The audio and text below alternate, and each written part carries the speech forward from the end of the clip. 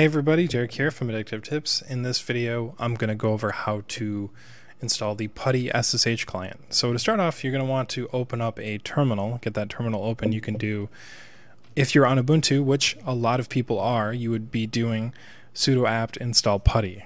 So sudo apt install PuTTY. If you're using a different Linux operating system, perhaps one that is not as well known, you can check the description in the video to get it installed. Now, once the app is installed, you can open it up, just going to PuTTY like so. And now we are going to connect to an SSH server because it's not enough to show you how to install PuTTY. You should probably know how to use it because it's an SSH client. So I have a Debian server on my Raspberry Pi 4. It's actually, for the device caliber that it is, it actually runs the server very well. So definitely check that out if you want a cheap server. But uh, it's got a host name, and the host name is Raspberry Pi. And the port is 22. So that's all I really need. I can just select SSH to make sure that's connected. I don't have any keys for it. Just don't really need it. It's on my LAN. I don't need any special encryption keys. My girlfriend isn't going to log into my, my SSH server and steal stuff. Now I just click open. Now when I click open, there's going to be a window that appears.